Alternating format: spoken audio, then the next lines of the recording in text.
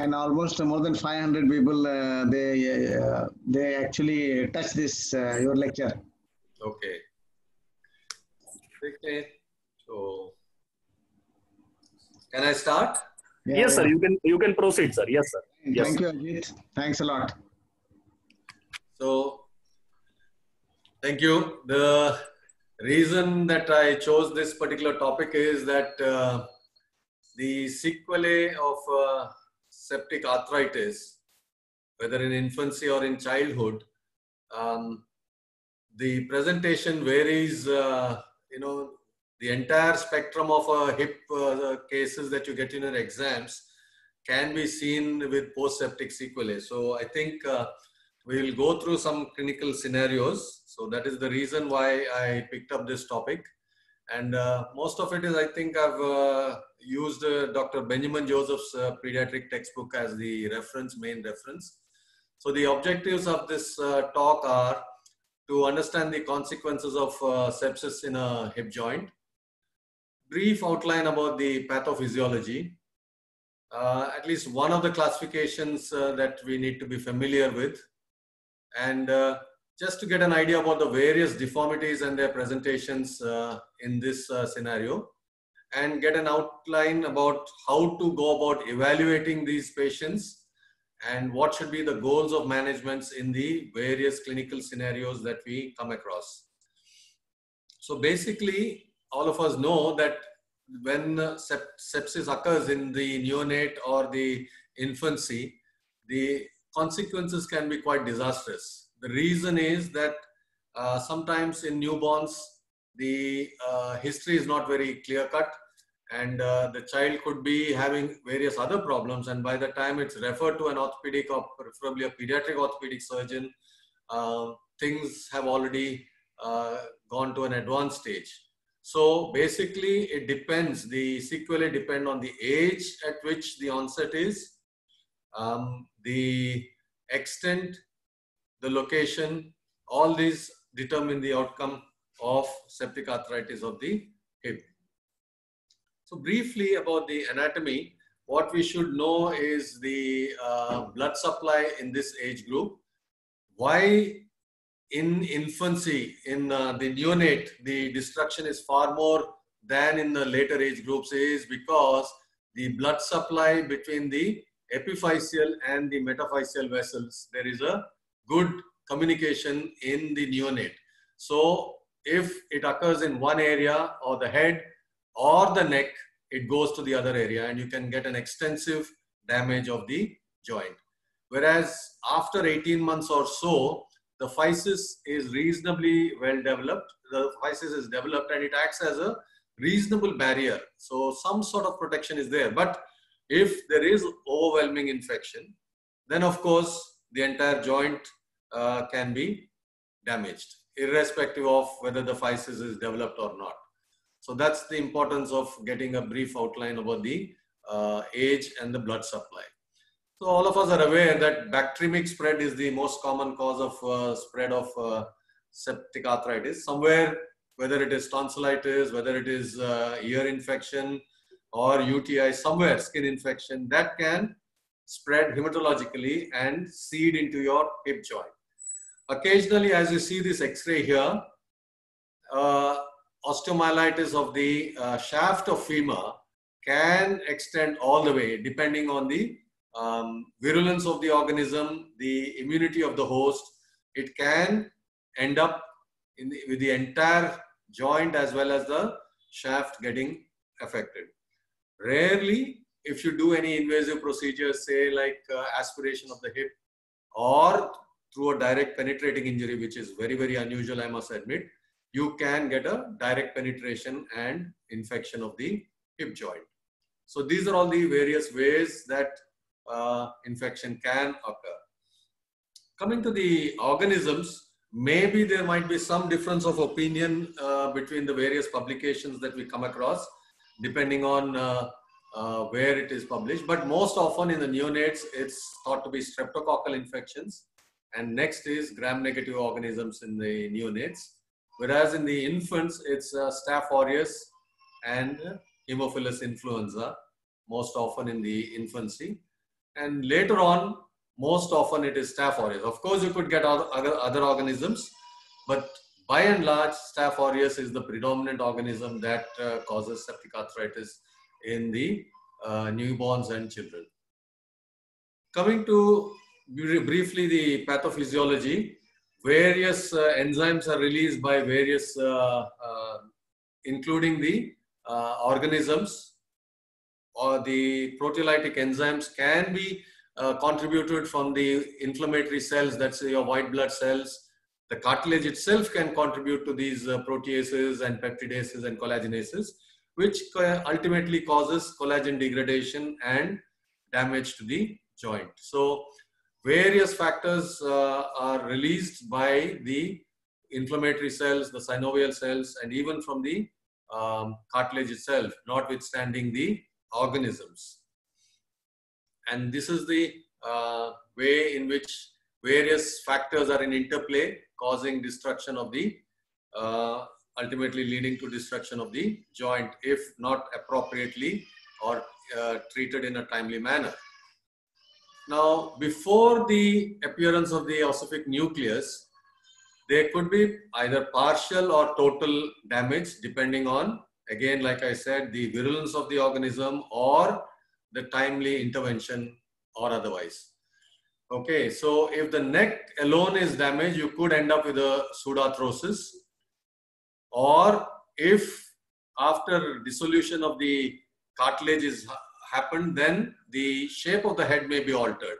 Various manifestations could be there. Many of you would have seen some x-rays uh, in your own practice or in your own training. So once the growth plate has formed, the damage leads to various deformities. It could be coxa vara, it could be coxa valga, it could be excessive anteversion or retroversion and coxa breva. We'll go through each of these uh, situations. However, because the greater trochanter is outside the capsule, it is much less affected or rarely affected and it keeps growing and it outgrows the femoral neck resulting in a lurching or a Trendelenburg type of gait. Sometimes it is uh, riding high up if the entire head and neck is damaged.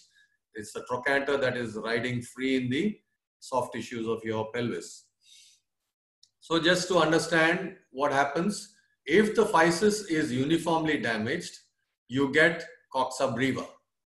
Now, if the physis is inferiorly damaged, the superior part of it continues to grow, and so you end up with a coxa vara here. In the opposite way, if the superior part is damaged and the inferior continues to grow, you get coxa valga. Similarly, if the uh, the anterior part is damaged and the posterior continues to grow, you get anteversion and vice versa. So basically, uh, probably the coxa valga and uh, anteversion, retroversion we may diagnose less often, but certainly coxa vara and coxa breva are quite commonly seen in clinical practice. So these things you need to keep in mind when you're writing your theory or even in your clinical practice, uh, clinical exams. In older children, sometimes some, some sort of subacute infections, if the immunity is good, can result in damage to the triradiate cartilage with premature physeal uh, uh, closure of the triradiate cartilage. What happens then is it acts like a, an acetabular dysplasia. The head keeps growing normally, but because the triradiate cartilage is damaged, the uh, head is large and subluxed. So you get something like a Uh, DDH here in this sort of a situation. Whereas if only the cartilage on both the acetabular and the femoral side is affected equally, sort of so to say, it might end up with ankylosis, which may be bony or even fibrous sometimes. So this is also possible. This is the spectrum that we are talking about. So the outcomes are related to, one is the pathophysiology of the disease, age at onset, the duration of the condition, condition in the sense, the delay in diagnosis, the delay in treatment, uh, that, uh, that also makes a difference. It also uh, depends on how soon uh, or how soon in life the infection has occurred. That means whether the acetabulum was well formed when it happened or it was like a newborn when it uh, when the infection damaged the joint. It also depends on ultimately what's left of the head and neck. The outcomes are related to that. Okay. So coming to classifications, there are various classifications. I think most of you are familiar with the, the Hung classification and the Choi. And our own uh, Dr. Ashok Johari has come out with his classification as well. But I'll stick to just one classification so that there is not much of confusion. We can understand the principles. But for writing your theory answers, you may need to know uh, more than one. So this is the Hunka type of uh, Hunka classification. Type 1, there are five types here. The type 1, it's only uh, the physis may be affected and you may get something like a coxa vara. The example that I'm showing you is actually Perthes. I didn't get a good example of uh, uh, coxa vara with septic arthritis, but something similar. What you can need to understand is the physis, sorry, the physis is affected and it leads to stunted growth as compared to the normal hip and you end up with coxa vara. Type 2 is divided into 2A and 2B. Again, 2A, you get uh, something like a coxa vara here. And uh, in 2B, the head is much more affected. In 2A, some growth has occurred in the physis. So you, variable growth, you may end up with a coxa vara like situation or the entire head may be damaged and you end up with a partially uh, visible sort of head with a reasonable neck there. Okay, and type 3, you get a uh, of the neck like that, like a congenital coxa vara sort of situation, but is actually a uh, there. 4A is like a mortar and pestle type of uh, deformity that you can see. And 4B, more of the neck is damaged. There is only a nubbin left of the neck. So this is 4B. And in type 5, you get the entire head and neck is resolved and the trochanter is lying in the soft tissues high up. So these are the, this, this is the basic sort of classification. If you're familiar with this, you can understand most of the uh, x-rays that you come across. You can classify them quite easily. So that's the type of x-ray that you would see. So what's the um, modality of presentation that you get in post-septic hips? We'll go through the spectrum in uh, this thing. But when you come to evaluating, you need a detailed birth history. Often you may get a history of prematurity or that the child was kept in the intensive care and by the time uh, they realize that there is something wrong with the hip, it's already three, four, five days already down the line. And you can understand that by that time, the entire destructive process would have eaten away the cartilage and the joint.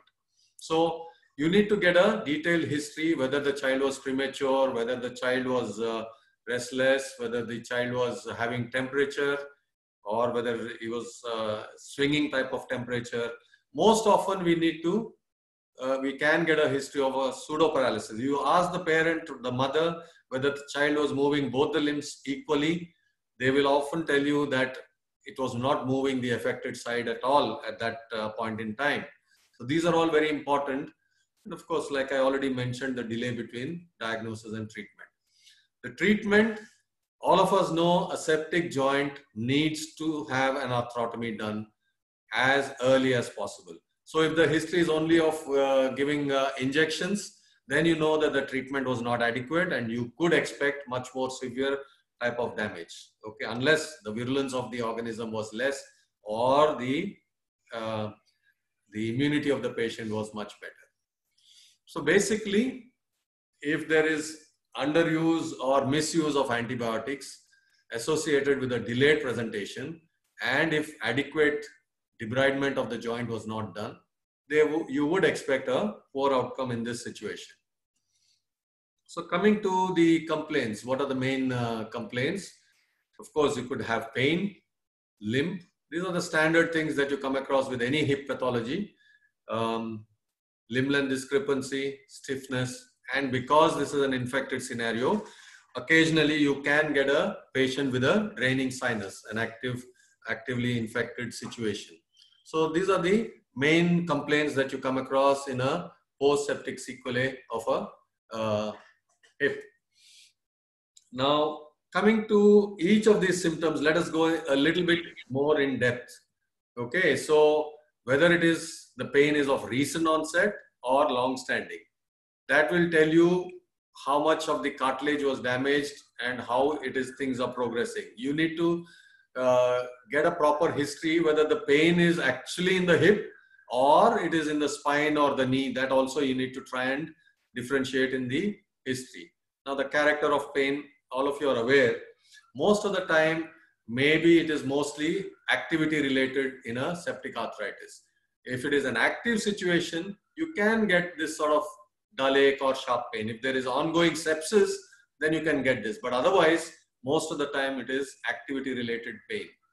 Whether it is constant or rest pain, that also you need for uh, getting an idea as to what is going on. And of course, what activities aggravate uh, and uh, relieve the symptoms. This is just like any other hip history that you're taking. You need to know all this. Okay, so coming to the limp, it's very important to know whether this is recent or it started right from the time the child started to walk. That means you know whether it was an early onset sepsis or it happened a little later. We will come across one of the differential diagnosis uh, at a later date, uh, later time, sorry. So whether the limp is mild or marked, that means again it will tell you the severity. Again, it uh, depends on when the patient presents to you or when uh, you see it in the exam, whether it is a young child or a older person. Uh, important to know whether it is progressive. If it is progressive, then it tells you that there has been a substantial damage to the growth plate. And as the child grows, this deformity, uh, the, the limb is getting more and more exaggerated. The limb length discrepancy is getting worse. So that gives you a clue whether it is progressive or not. And of course, stable or unstable. If it is stable, that means reasonably stable. That means there is some element of the head and neck left behind. If it is unstable, then you know that there is significant destruction of the head and neck or the hip is outside the joint. So these are things that from the history itself you'll be able to make out. And whether the person needs to use a walking aid, this is also important. Okay. So the next thing that you need to look at is the limb length discrepancies. It could be very mild or marked many a times these uh, patients uh, camouflage their shortening by walking on their toes. So they could have an equinus gait and that could uh, actually um, uh, mask the shortening that you see. Sometimes they walk very well uh, with an equinus gait though. Okay, again, whether it is progressive. If the limb length is progressive, then you know that the growth plate is significantly distorted or damaged and then there's nothing uh, contributing to the growth there. That's why it is gradually getting worse. Stiffness can also be there, like we talked about fibrous ankylosis situation. Now, whether it is mild, moderate, all this, getting a detailed history of all this helps you in getting an idea about the ultimate management of these patients. Okay, so you also need to know if the pain is coming from another source. Sometimes the hip may be uh, reasonably pain free, but the other areas could be painful. Now, the, the last thing that could be a presenting feature in a septic sequelae is a, a sinus. You need to know all the details of a sinus, whether it is active or it's become quiescent, what type of discharge there is, whether there are bony spicules coming out. All these details you need to present in your uh, presentation.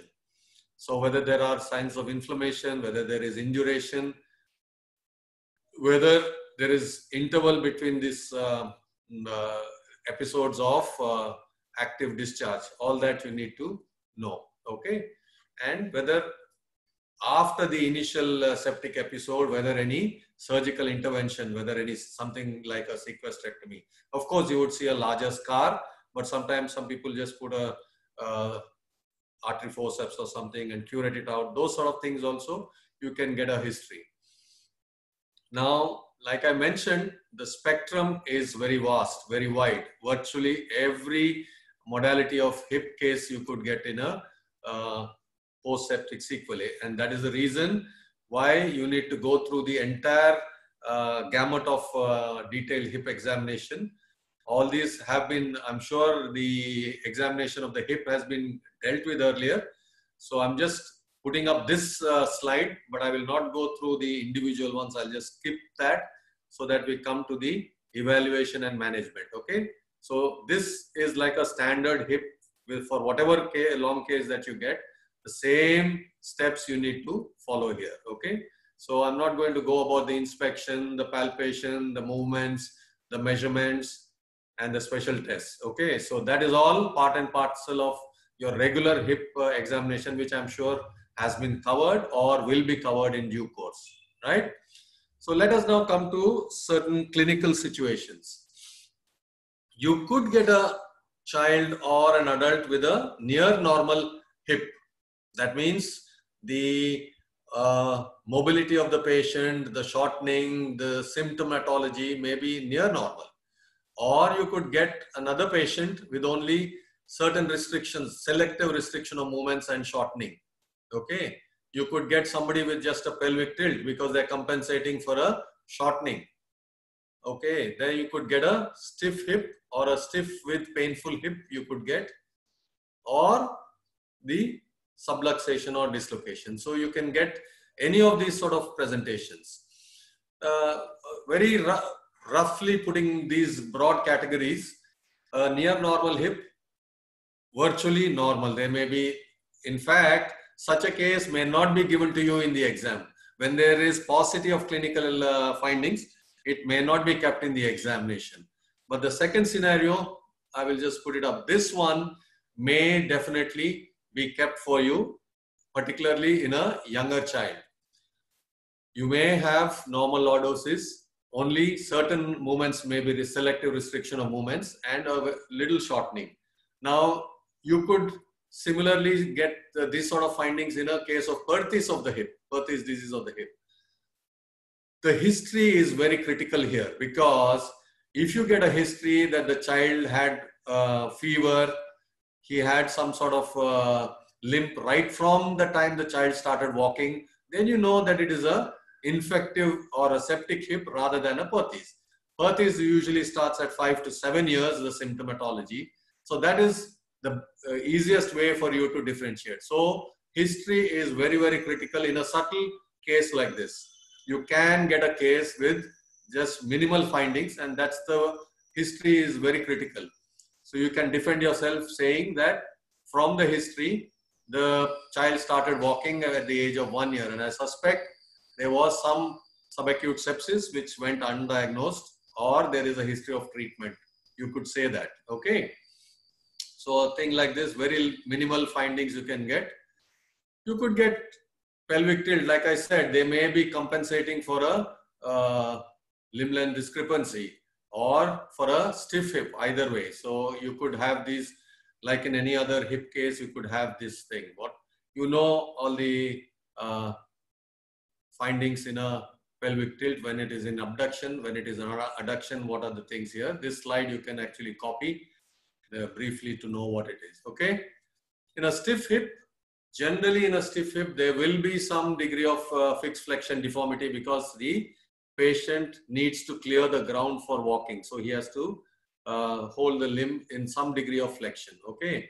The ASIS level may vary and of course the shortening may be one to three centimeters, depending on the amount of destruction that has happened. So this sort of an X-ray will give you a marked stiffness. Okay, that is an extreme case, right? Of course, there will be other problems there. And in a situation where there is subluxation or dislocation, you will get uh, plenty of clinical findings. Okay, so you need to examine in much more detail.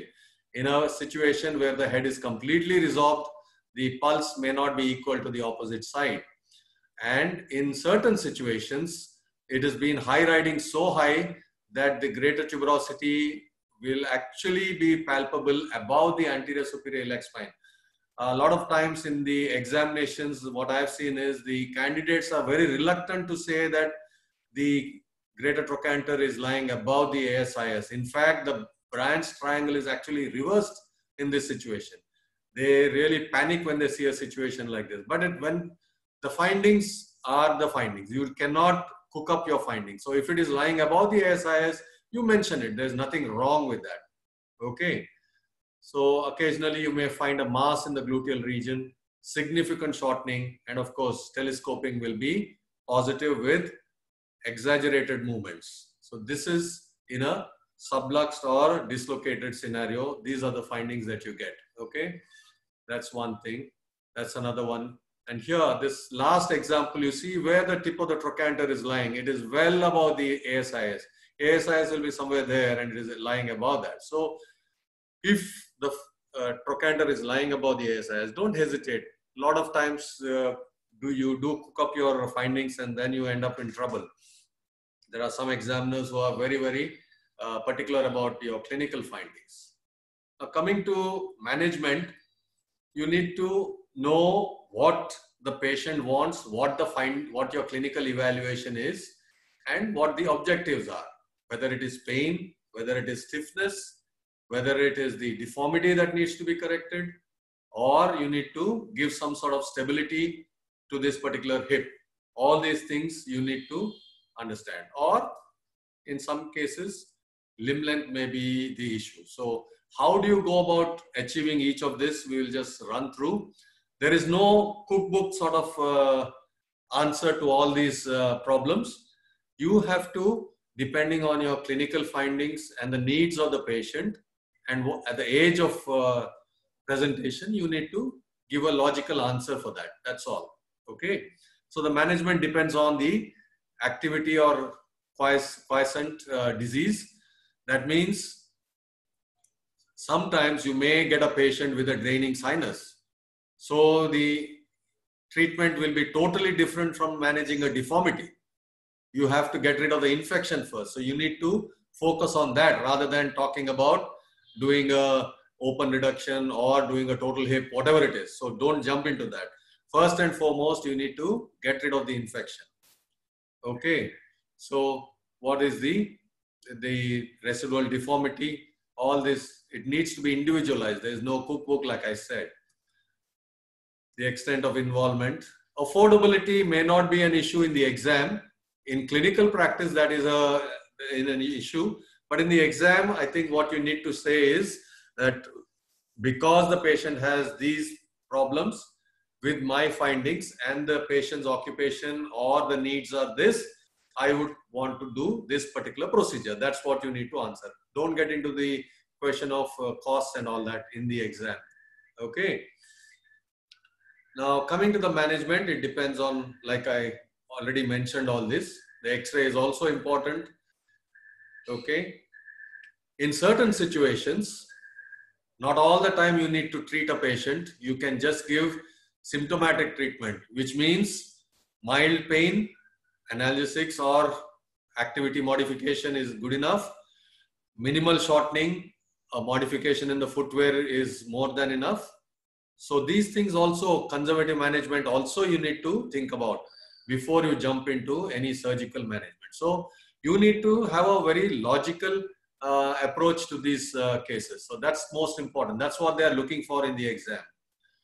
Okay, if you have active infection, you need to get rid of this infection. Don't jump into saying I will do total hip or I will do uh, limb length correction or whatever. So you need to get rid of the active infection. So how do you go about it? You need to debride, you need to re-debride, you need to give prolonged IV antibiotics followed by oral antibiotics. This uh, needs to continue. Sorry, that is antibiotics, not any antibiotics.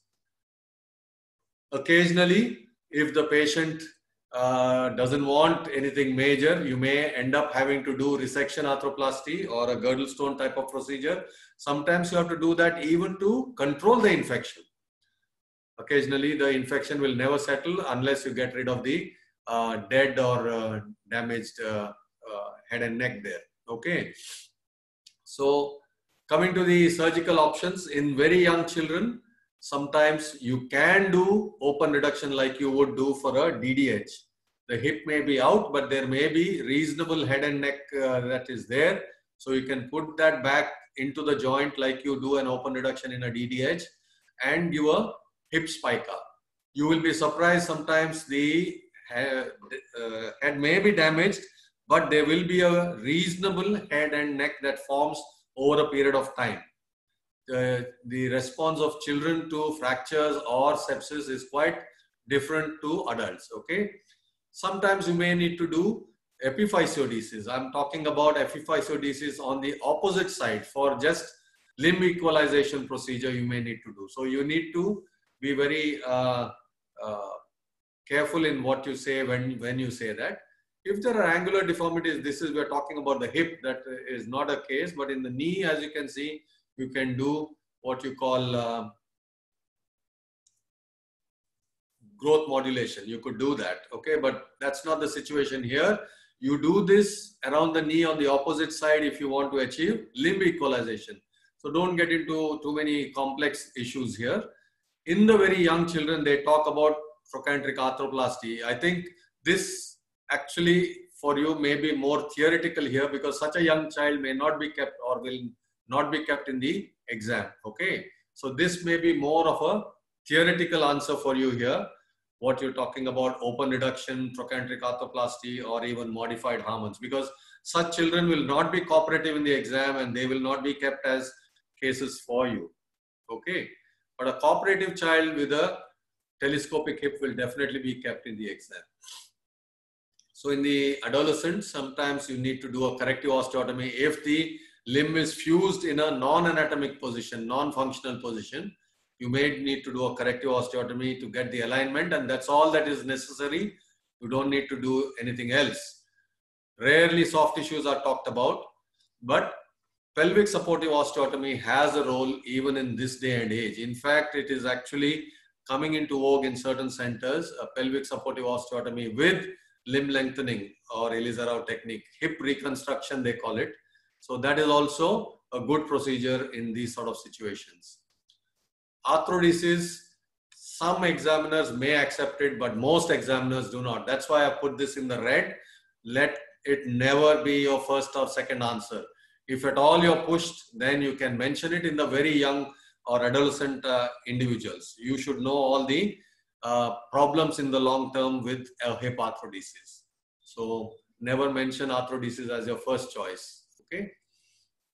Coming to the adult broadly, you can do uh, depending on his occupation and his demands. You could do because if he wants to squat, if he wants to do some such activities, then pelvic supportive osteotomy will be beneficial. total hip in a uh, patient who doesn't have the demand of squatting and who can afford to have a hip replacement and also look after it in the long run, you could offer total hip replacement. Never talk about arthrodesis in the adult. That's in the red. Don't talk about it. Okay. So if there is a painful arthritis or uh, this thing, again, pelvic supportive osteotomy, but more often one would talk about total hip arthroplasty in this situation okay and in the person who cannot afford or who wants to squat and do his routine work uh, then uh, Girdlestone resection is one uh, accepted method but not many examiners they nowadays generally we talk about reconstruction of the hip but if the patient wants to go to the fields if he wants to sit down or use indian toilet then of course you need to give him this option or the pelvic supportive osteotomy with limb lengthening is another option. Okay, never talk about arthrodesis.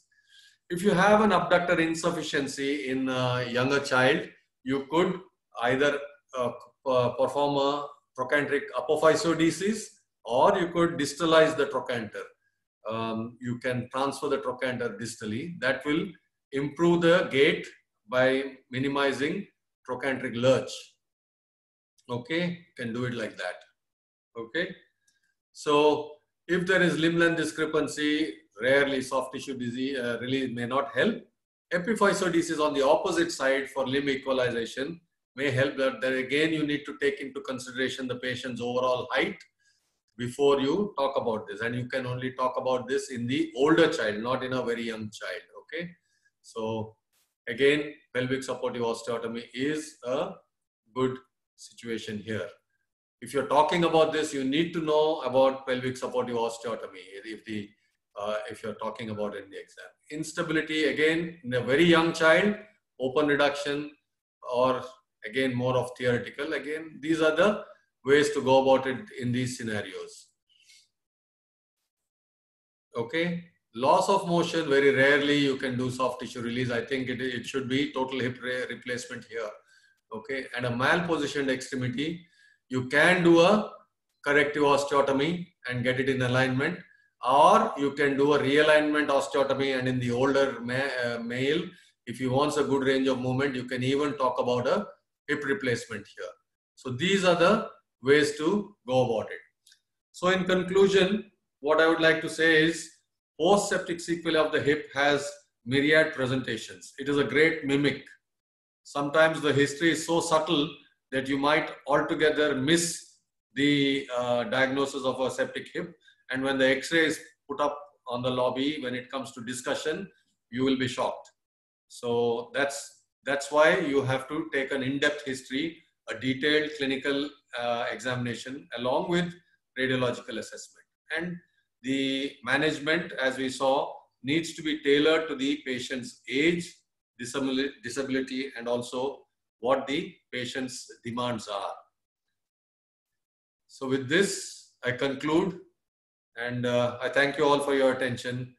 And if there are some questions, we'll go through that. I think we are done about half an hour, so I think it's okay. Yes, to, yes. Anybody wants to ask question, please proceed.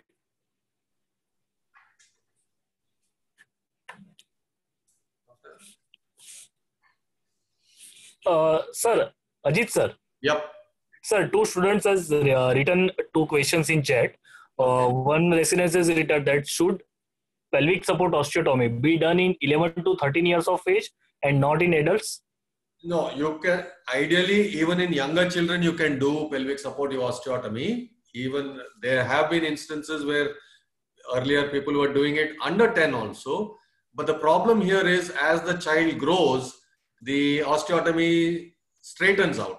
So you may have to repeat the pelvic supportive osteotomy at an older age. So it's better to do it in the adolescent age group. Very rarely in the adult, very rarely you would do it in an adult.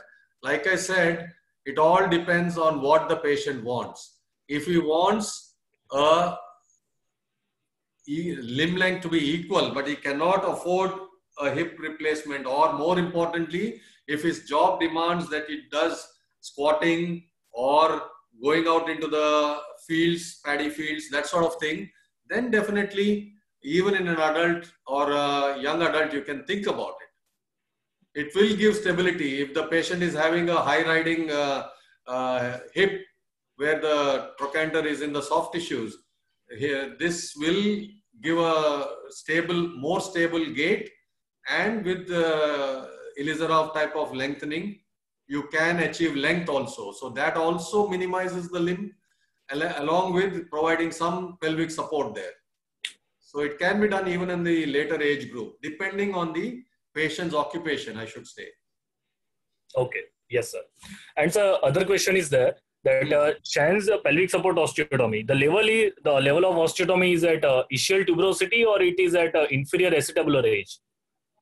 No, you the, the way to do it ideally is take the limb into extreme adduction. Okay. Yes and see where it sort of touches. That's the level that you think about. And from there, you calculate how much of adduction you are able to get. And that's to get it to neutral, that's the amount of uh, correction that you need to do.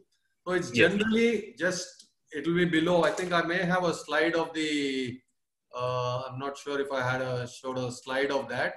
But you see the picture there, it is below the lesser trochanter. It is almost at the level of the ischium. Yes. That you need to do it. Yes, sir. Yes, yeah. sir. Any any uh, other resident wants to ask a question? Please proceed.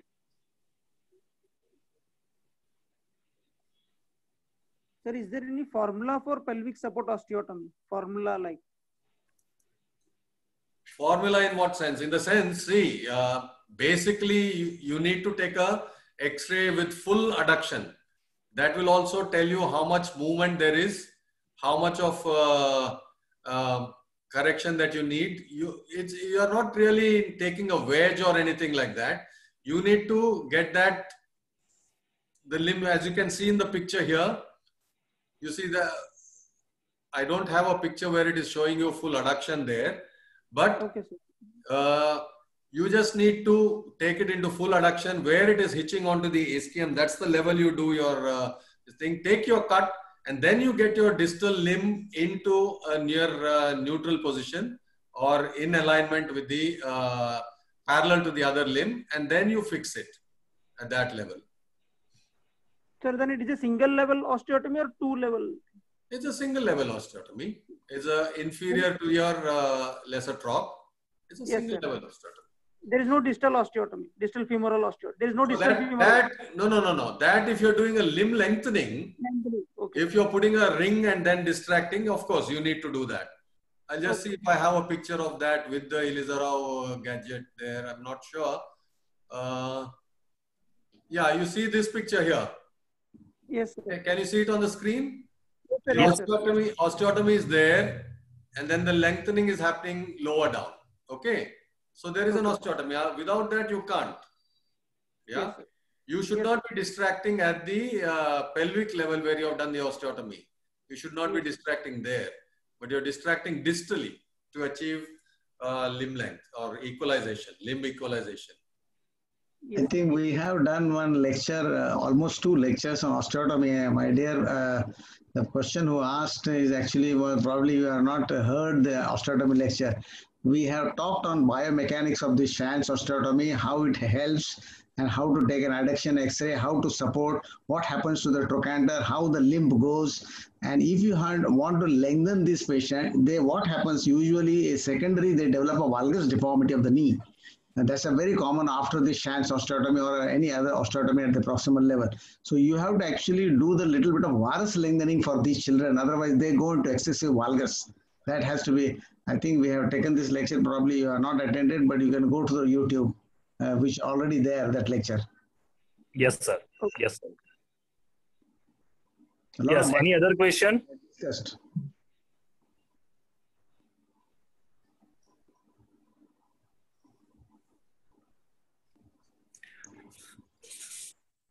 Okay, Ajith, sir. Yeah. Yes, sir. So uh, we can end here, sir. And uh, Okay. Thank you very much. You make it uh, every each and every type treatment and uh, presentation very clear. So students students will be right to in theory and uh, practical also. Hopefully, they are I think Yes, more sir. interested in the practical part of it. So that's Yes, Uh, yes, uh, yes. And uh, the cases are usually kept in uh, DNB and MS exam Oh both. yes. Oh yes. Yeah, Oh, yes. yeah, Yeah, it's usually kept, so they need to know it. Yeah. Yeah. And uh, I, I thank you very much for your time and effort, you. sir. Thank you Thank very much for that. Thanks for the thanks for the opportunity. Thanks, Thank you, sir. sir. Pajore sir. Namaste. Oh, Namaste. Excellent. Good. Night. Yeah, yeah. Thank you very much and good night, sir. Good night. Good night. Good night. For Good night. sir. Ajith's Good night. information, uh, Johari got the gold medal on that uh, uh, during MCH. We were together on Yeah. this subject of uh, Smith arthritis. Correct. Correct. Ashok is my classmate. I know, I know. I saw that uh, this thing also in his uh, classification uh, publication. I saw that. Yeah. Mhm. Okay. Right. Thanks. Thank you, sir. Oh, okay, thank you, sir, and good night, sir. Good Good night. night. Good night. Good night. Good night, sir. Thank you very much. Thank you.